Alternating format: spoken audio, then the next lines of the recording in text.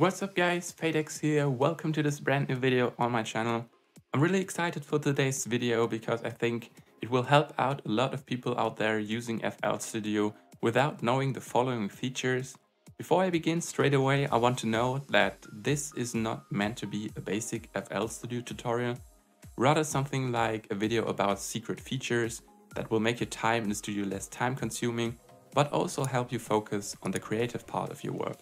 If you're new to FL Studio, I will link you some really good beginner tutorials down below that you should watch before watching this video. If you're already advanced in FL Studio but still want to know some cool tricks, here are 10 hidden features in FL Studio you didn't know. Number 1. Detaching windows. The first feature is very helpful to highlight windows you need very often. For instance, you want to mix and arrange a pattern simultaneously but it annoys that the mixing window always goes back into the background every time you click the playlist. To solve this, click on the window you want to detach, go to Menu, Detached, and now your window should stay open on top as long as you click Detached again. In case you messed up and detached a lot of windows, just go to Options, General Settings, MISC section and select Detach all plugins. Now all of the plugins you detached earlier should stay in the background again. Number 2. Delete unused audio clips. Guys, I'll be honest with you, this trick is so much time saving. I didn't know it existed and always did it manually. I always deleted clips I didn't use by checking for them in the arrangement, and if they weren't there, I just deleted them. But there's actually a feature for it. Simply click on Tools, Macros, Purge Unused Audio Clips, and now every sample that hasn't been used in the arrangement will now be deleted.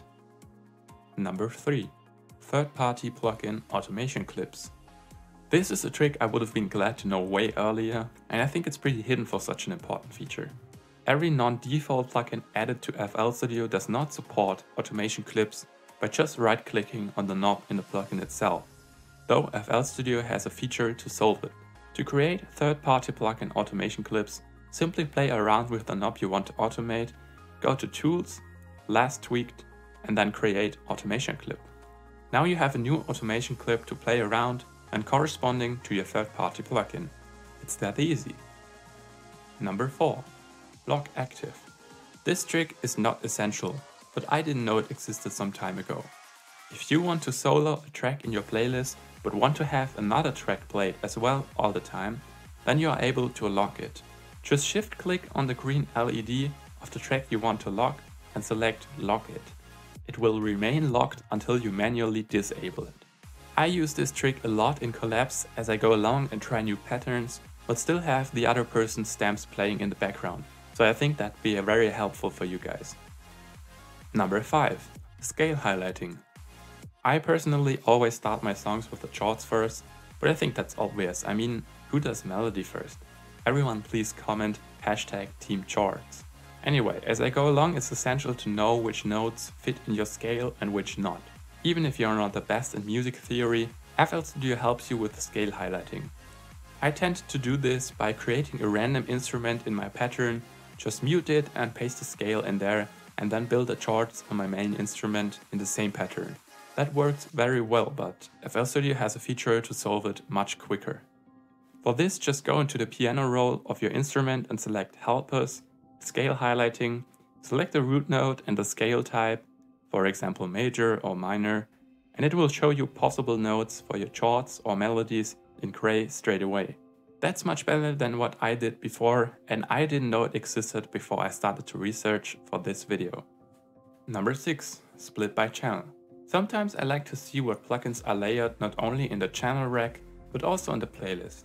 To create different patterns out of one and modify or arrange them separately, you are able to split them by channel. Just simply right click on the pattern you want to separate and select Split by Channel. Now you can use the split patterns all by one in the playlist. Not a big feature, but I think you'll need it for sure in the future. Number 7. Save channel state. Very time consuming is also rebuilding mixer tracks that are similar but have to be used separately. To save time, just go onto the mixer track you want the used plugins to be copied with all the presets inclusive and select File, Save Mixer Track State As. Just save it somewhere on your computer and reload it on another mixer track straight away on the same way but selecting Open Mixer Track State. Boom, now all your plugins will all load in and you just clone the mixer track. Number 8. Copy automation clip states. It may has happened to you that you want to copy the state of an automation clip on another plugin. That's actually pretty easy as well, but as almost every useful feature, very hidden in my opinion. To copy automation clip states, double click the automation clip you want to copy the state of, then open the menu on the arrow, hit articulator and then copy state. Pasting the state onto the other automation clip works on the same path, but selecting paste state. There you go. Number 9. Layer triggering. Everyone knows, layering plugins can make a huge difference, especially in EDM drops for leads and shorts. But what if you want to change a little note in one of your layer? You will have to copy and paste the new chords or lead melody every single time. Much easier with FL Studio here. It's possible to trigger multiple sounds from the same pattern. Just load a layer instrument, open its interface, and select the channels you want to trigger together and just hit Set Children. Any notes you will add to the layer instrument will from now on trigger the selected channels together. Number 10. Markers. The last feature of today's video is something that improves your workflow so much. What I mean is using markers on your playlist. Everybody knows the problem guys. You're editing an automation clip way down in your project, but you have no idea where you're currently at in your project. And the bar counter at the top doesn't help either. To solve this, we set markers on your playlist. Just press Alt T on the spot Give it a name and you're good to go. From there you can edit different events for your marker, such as loop, skip, pause, or other things. This feature has much potential to organize your project.